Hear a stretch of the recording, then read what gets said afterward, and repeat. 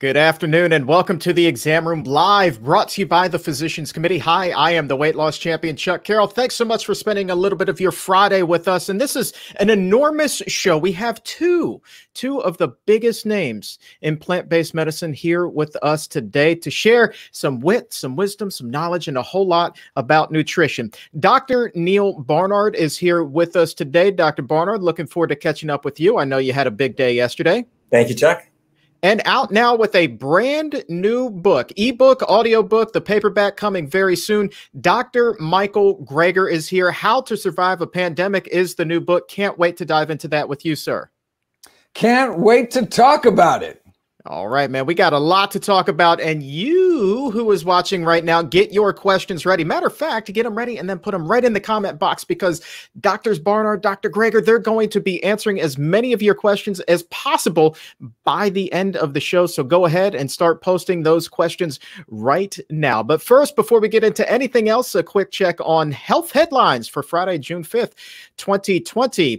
Lockdowns as a result of the coronavirus pandemic appear to be worsening the childhood childhood obesity epidemic. The toll from staying at home? Well, it's a dramatic increase in the consumption of red meat, sugary drinks, and junk food. Researchers say of the 41 kids they examined in Verona, Italy, the majority of them were spending an average of five hours or more greater in front of their computers, their TV screens, and they're also eating a fourth meal every single day. So, more on this later in the show. But as thousands continue to flood the streets as to protest racial injustice, one of the nation's top health officials is urging demonstrators to do it safely. CDC Director Robert Redfield is floating the idea that demonstrators in areas that are still considered hotspots for the coronavirus consider being tested. He says the large groups may create so called seeding events for the virus, but he is not encouraging protesters to remain at home. So the question then becomes how do protesters stay safe and minimize the spread? For that, let's turn to Dr. Neal Barnard. And because Dr. Barnard, I understand that you and a few of our colleagues spent part of yesterday out in the demonstrations here in Washington, D.C. So, first of all, how was it? Well, I have to say it was a great experience. I have to, it, to see so many people turning out uh, for a good cause was really wonderful. The protests started um, just about a block from our office, and then ran straight down Wisconsin Avenue. For those of you who are familiar uh, with the area, um, we went from Friendship Heights down to the National Cathedral, and uh, along the way there were just hundreds and hundreds and hundreds of people, and we uh, started out uh, handing out bananas and handing out uh, water bottles and masks and everything to to the group, um, and had uh, just lots of great interactions with people who are concerned not just about the issues related to uh, police uh, barbarity, really, but also related to underlying health conditions that are affecting so many people. Um, but you asked about how, how to demonstrate safely. Um, the, the thing not to do is to stay home. Uh, obviously, people do need to get out if they want to be able to express themselves in this way. Um, but uh, at the event yesterday and at all of these events, mask wearing is universal. Um, that doesn't completely eliminate transmission, but it reduces it substantially. Um, also, social distancing plays a key role, and to the extent that people can, when they get an opportunity, they should be using hand sanitizer or even washing their hands if they get to a place where they can do it. Um, along the way, people were also uh, providing free water and, and snacks and things to keep because it was a very hot day and people were getting dehydrated. So all those things I think meant led to a very successful event. You do all that and stay safe and still get the message across. It seems like a good fit there, Dr. Barnard. Appreciate that. Well, Stick around. No, go I, ahead. I, I have to, yes. And, and I just want to say, Chuck, really quickly, that I think people are starting to, I think everybody is starting to realize that the the behavior of police, while that's the focus of the current protests, and, and rightly so, um, because there's a lot that can be done there. Um, but everyone is aware that the uh, inequities don't just begin and end with pol- uh, police behavior. They also relate to the underlying conditions that we have been talking about over and over again, whether it's diabetes, uh, high blood pressure, and obesity. And so the role of a plant based diet is getting lots and lots and lots of, of interest and attention from people from all people of all walks of life.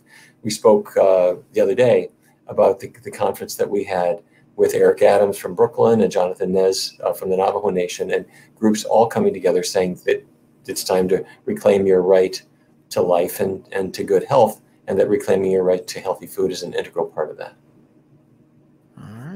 Dr. Barnard, looking forward to catching up with you in just a little bit. Again, if you have a question for Dr. Barnard or Dr. Greger, go ahead and post that in the comment section right now. We're going to be getting to that in just a little bit. But first, let's turn our attention to Dr. Greger's new book. He is, in fact, a multiple time New York Times bestselling author, uh, founding member of the Fellow of American College of Lifestyle Medicine, and of course, one of the leading voices in the importance of plant based nutrition. Hot off the digital press, you see it right there on the screen, is his newest book, How to Survive a Pandemic. Dr. Michael Greger, so glad that you could join us here today.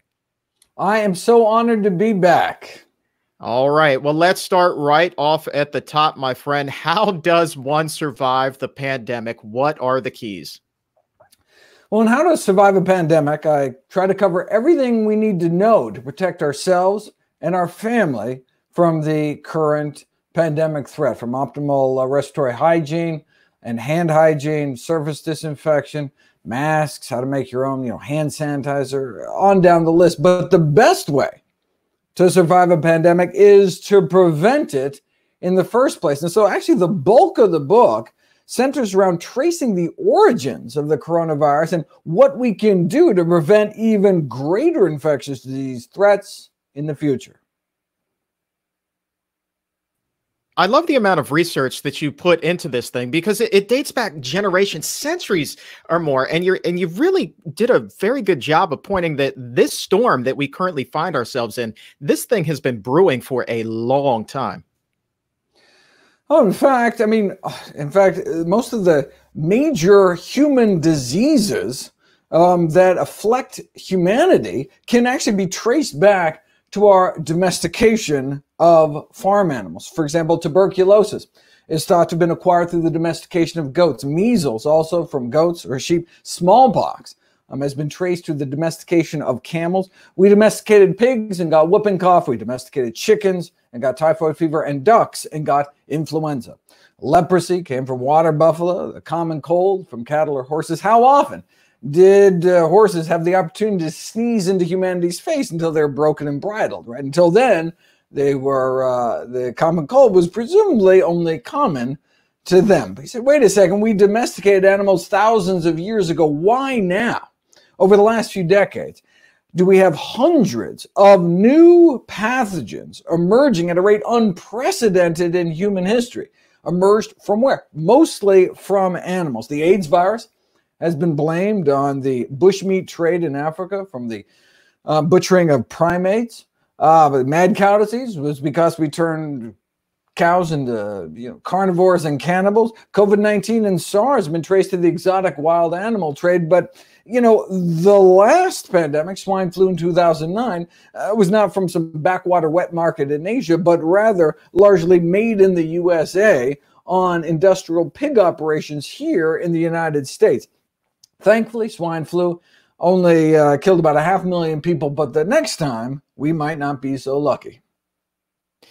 There's a great quote in the book from Jay Leno. It says, Where chicken soup used to cure the flu, now it gives you the flu. I mean, that's funny, but it does lead to a, a, serious question, though. If all of these meat markets, these wet markets that we're talking about, both in China and then here domestically in the States, if all of them were to close, what would the net effect be on our health worldwide? Well, I mean, I think closing uh, live animal markets go a long way towards preventing the next coronavirus pandemic. But according to the CDC, the leading candidate for the next pandemic is a bird flu virus known as H7N9, which is a hundred times deadlier than COVID 19. Instead of one in 250 cases dying, H7N9 has killed 40% of the people infected. So, you know, COVID 19 may just be a dress rehearsal uh, for an even greater threat waiting in the wings of chickens. The last time a bird flu virus jumped directly from, uh, from birds to humans, it triggered the deadliest plague in human history, the 1918 flu pandemic, which killed 50 million people. That had a 2% death rate. All right, what if we had a pandemic infecting billions where death was closer to a, a flip of a coin. But the good news is that there's something we can do about it. Again, just um, like uh, you know, eliminating the exotic animal trade in live uh, animal markets may help prevent the next coronavirus. Reforming the way we raise domestic animals for food may help forestall the next killer flu. Right. And I think that the majority of people watching right now have one singular question on their mind. They're fans of yours, they're fans of Dr. Barnard, they want to read this new book, but they're probably wondering well, if I start eating better, if I really adopt that plant based diet, make no exceptions to it, how much protection will that offer me from not just this current pandemic, but future pandemics as well?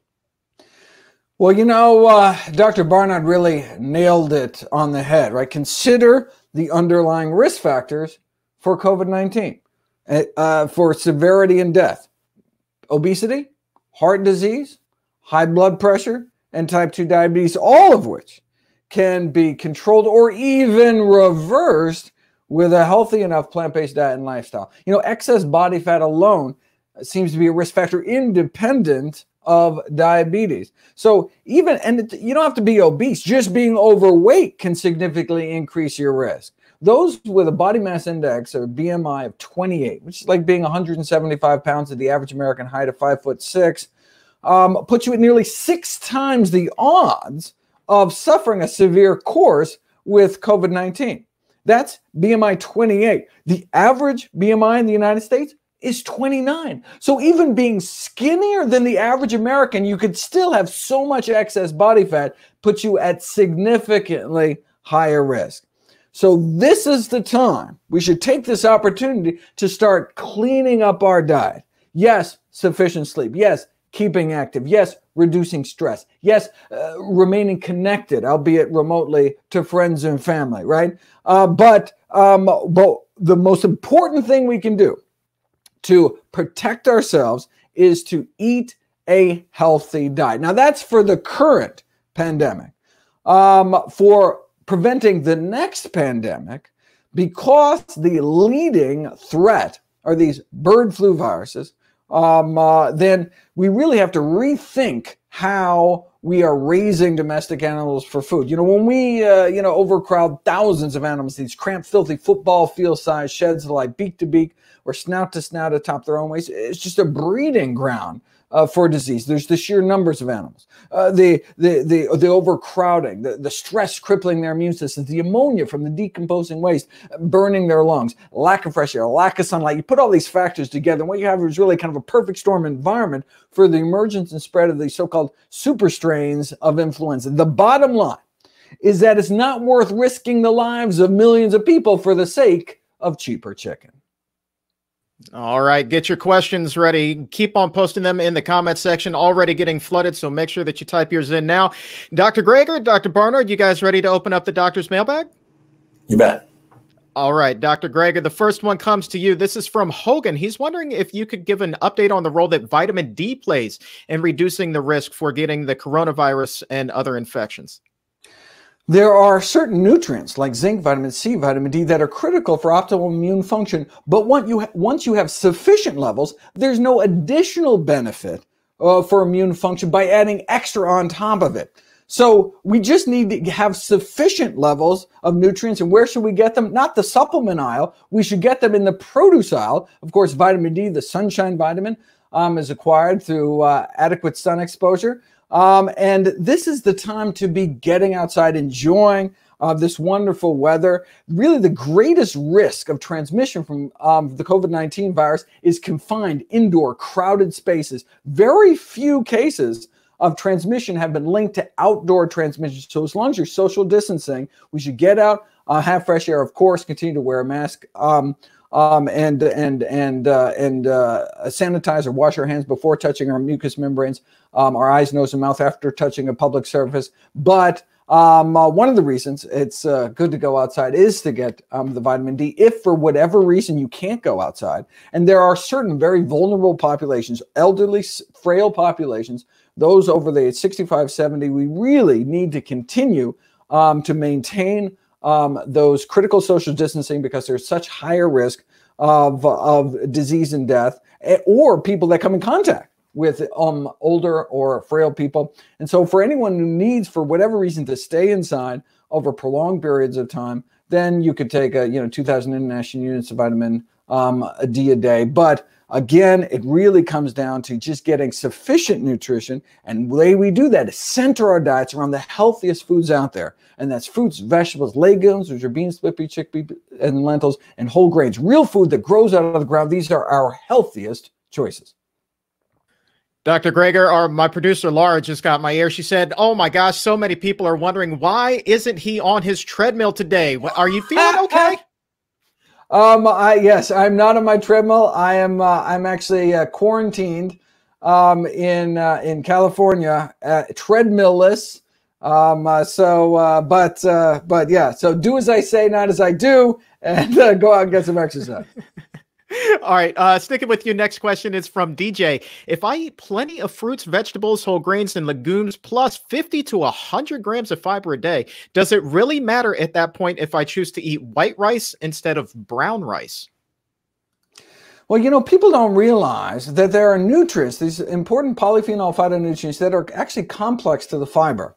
Um, and so uh, the same question could be said for people that uh, drink um, uh, you know, uh, you know, uh, juice, fruits, and vegetables or something. You're like, look, I'm eating a whole food plant-based diet. I'm getting tons of fiber. Yes, when you juice fruits and vegetables instead of blending them, you lose some of the fiber. But I, fiber is the last thing I need. But they don't realize you're not just throwing away the fiber when you juice fruits and vegetables. You're not just throwing the fiber when you when you uh, mill brown rice to white. You lose cr- other critical phytonutrients, actually complex to the fiber, and actually only released into your body in the colon when you're your um, good bacteria eat the fiber, release the polyphenols, and then get absorbed into our bloodstream, circulate throughout our body, even get up into our brain. So many of the beneficial effects of fruits and vegetables and other whole healthy plant foods are actually attributed to these uh, to these compounds that are complex to the fiber. And so when you throw out the fiber, when you mill away the fiber, um, when you juice away the fiber, you're not just throwing away the fiber, you're throwing away as much as 80% of those polyphenol phytonutrients. So it's always better to eat whole foods whenever possible. Dr. Barnard, this next one is for you. It comes to us from Odanya on YouTube. How do you deal with the rapid changes from the crisis and still stay mentally okay? Oh, I mean, how could people cope with all the stress that we're under? Uh, many people have, have talked about that. And I think, first of all, nothing is going to make the world uh, a safe place 100%. And, and there is stress that we're going to have to live with. Um, nonetheless, there are certain things that we can do. Um, a few basics. Uh, going to sleep is a good idea. Going to sleep, I, I personally have a rule. When the clock strikes 10, no matter how good the book is that I'm reading or the video that I'm watching or now, or no matter how important the assignment is that I'm working on, I go to sleep. I'll pick it up the next morning. I may get up early if I need to. But setting a time to go to bed that's reasonably early will make you much better balanced during the day. Um, but if you lie down to sleep, you'll find your eyes just aren't closing because you've been working great like crazy. You might not have been getting any physical exercise. So, as Dr. Greger was saying, it's good to get out and exercise because exercise makes your limbs and your body tired, and tired muscles then demand sleep. Um, a healthy diet is surprisingly helpful as well for anxiety and for sleep as well. Um, and we don't 100% know the reasons for this, but we did a research study with Geico in 10, the, the car insurance company, in 10 different cities. And we used a plant based diet to help people lose weight and improve diabetes. And along the way, we discovered that depression improved and anxiety improved. And other researchers have found the same kind of thing. What we think is happening is that the diet improves the gut bacteria, which feed back to the brain in, in a in a kind of a two-way street. Um, but it, also the diet is anti-inflammatory. So what am I saying?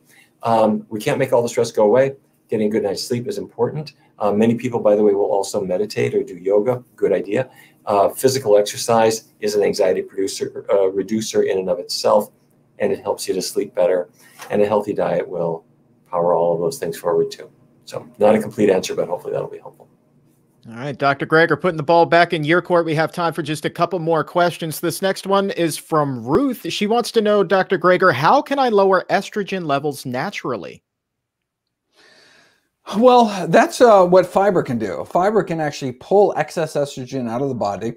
Um, uh, and if you're, I, I, I, have to dig a little deeper into this question. So, for example, if you're concerned about breast cancer, um, uh, the um, um, there are uh, a, a, number of foods that have been associated with uh, significantly reduced breast cancer risk. So, for example, soy foods, uh, particularly started uh, at a younger age, uh, are associated between 30 to 50% um, lower breast cancer risk later in life. Um, and and and then those with breast cancer, estrogen receptor positive or not, on tamoxifen or not. Um, there's now been a half a dozen studies done with thousands of breast cancer survivors, and those who consume soy foods actually um, have reduced cancer recurrence rates and uh, live significantly longer, have lower um, um, uh, um, uh, cancer mortality as well. Um, so I uh, would encourage people to um, include soy foods in the diet. They have both uh, anti-estrogen effects where we want them in the breast, but pro-estrogenic effects where we want them. For example, um, increasing skeletal um, uh, bone strength and and decreasing hot flash symptoms of menopause. Um, also, uh, ground flax seeds. I encourage people to go to nutritionfacts.org um, and you can pick your condition, whether you're concerned about menopausal symptoms or you're concerned about breast cancer risk. You just type it in nutritionfacts.org and all um, uh, the, the research will pop up. But of course, all I do is I, I pull all the research together. It's the amazing work of Dr. Um, uh, Neal Barnard, PCRM, that's actually done the studies. There would be no videos on nutritionfacts.org. I deserve no credit other than just pulling together all the great research that's already been done um, and uh, that's why I'm so appreciative um, to uh, Dr. Barnard and PCRM for all the amazing work they do and looking forward to doing more videos based on any studies they have currently in the works. All right. And Dr. Barnard, this one comes to us from Pat on Facebook. Should I get a regular blood test while on a plant based diet? If so, what should I be looking out for? Okay. Uh, by the way, let me uh, let me add on to what uh, Dr. Greger was just mentioning about getting away from estrogens. he's he's absolutely right. Boosting fiber helps. One other thing: skip cheese. Surpri- sounds surprising, but dairy products have estrogens in them that come from cows. We used to think that the traces were really unimportant, uh, but we now do think that that uh, it's enough to actually affect reproductive function and probably cancer risk too. Okay, so getting a blood test. Um, it's I'm guessing the questioner didn't say which particular blood test she's thinking about. But when you go see your doctor, um, your doctor will be, if the doctor is not too clued in about diet, um, and you say you're following a vegan diet, you're probably well-meaning but ill-informed doctor might start worrying about protein and things. That's actually the last thing you need to worry about. You are almost certainly getting more than more than enough protein. Uh, but there are some things that I think are worth looking at. Um, many doctors nowadays are rightly looking at vitamin D levels in patients um, just to make sure that they're adequate. For many people, they're low. And then you need Dr. Greger's advice, which is get out, get some sunlight. And if you can't get sunlight, then a supplement makes sense. So a vitamin D test is not a bad idea. Um, it's good to get your cholesterol tested, especially if you're not on a plant-based diet, because those rising numbers will motivate you to get on a plant-based diet. The number you want to look at is especially your LDL cholesterol, low density lipoprotein or bad cholesterol.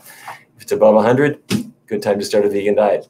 And whatever it is, it's a good time to start a plant based diet. Those are a few. Um, some people will look at their B12 levels, but the fact of the matter is that if you're on a plant-based diet, you you really need to be supplementing vitamin B12, which kind of takes the testing, um, makes it less urgent.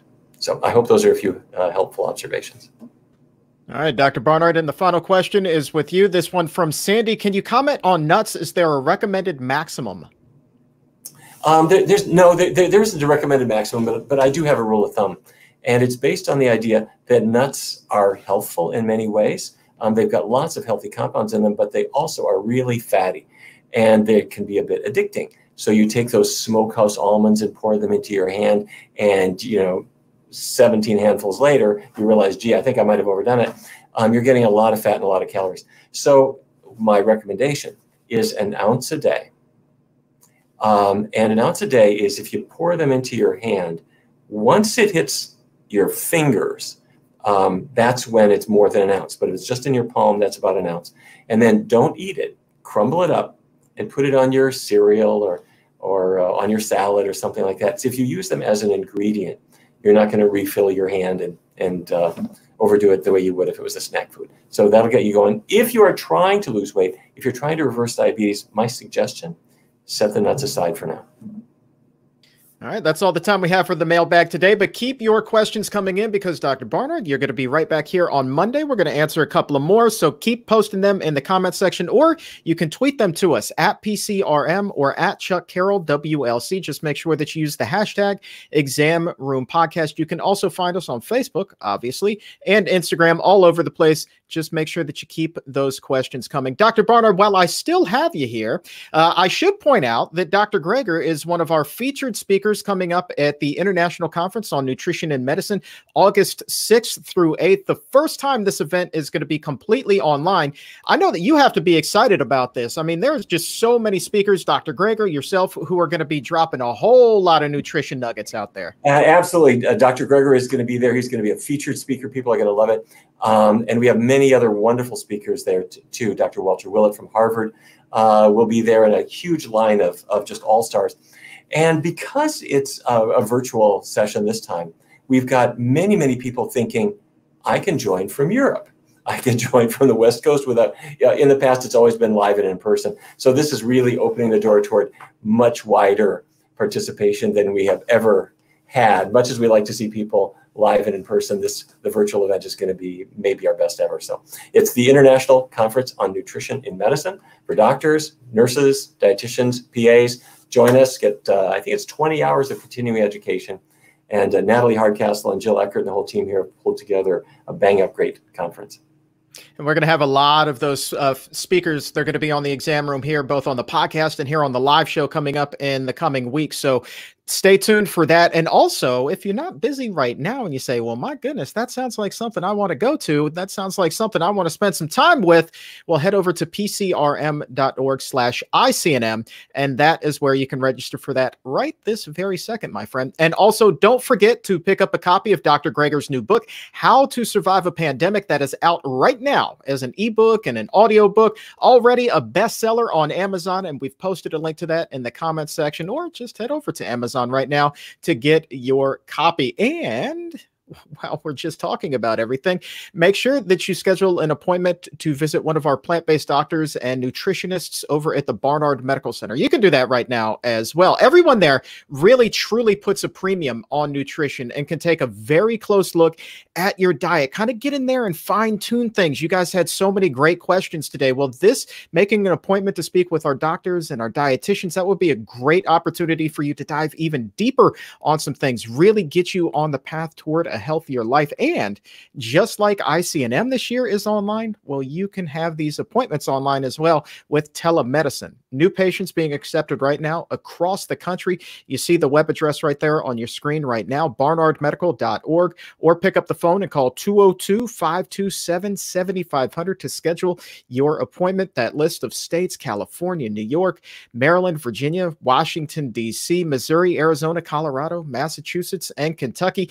We can get you so much help there. So barnardmedical.org, 202 527 7500. And again, you don't even have to get off of your couch. You can do this right from the comfort of your own home. This, my friend, is the modern day doctor's house call. It is phenomenal. My wife uses it. She swears by it. It is the greatest thing since sliced whole wheat bread. Uh, so. Uh, thank you guys so very much for taking some time to spend with us today. And before we go, I really I wanted to put a spotlight on someone who's just so inspirational. You know, we want to take some time to encourage everyone to keep learning about health disparities and about racism and to take a stand. This is so important. And so, one great way that you can do that is by shining a spotlight on those who are currently speaking out, leaders in this community, sharing some important information. And today, I want to tell you about Karen Eubanks Jackson. She is a four time breast cancer survivor and the founder of the Sisters Network. Now, when Karen was first diagnosed with breast cancer in 1994, she looked around and she realized there was virtually no support for women of color. So, what did she do? She founded what would become the nation's only breast cancer survivor network for African American women. And today they are still going strong, still sharing a powerful message of surviving, of thriving, and educating. And so, Karen Eubanks Jackson, you are an inspiration to millions. Check them out online right now at sistersnetworkinc.org. And then Monday, back here on Facebook and YouTube, noon Eastern, for the exam room live, we're going to be taking a look probably at the new dietary guidelines. There's going to be some movement on that in the very near future. So come back here Monday, noon Eastern. Dr. Barnard and I are going to be dishing on the dietary guidelines right here on the exam room live. My thanks to everyone who helped make today's show possible producers Laura Anderson and our director Donna Steele and Emily Cologne working behind the scenes as well. Could not have done this without you. For Doctors Barnard and Greger and everyone here at the Physicians Committee, I am the weight loss champion, Chuck Carroll. Thank you so very much for watching. And remember, stay safe, take a stand, and keep it plant based. Talk to you on Monday.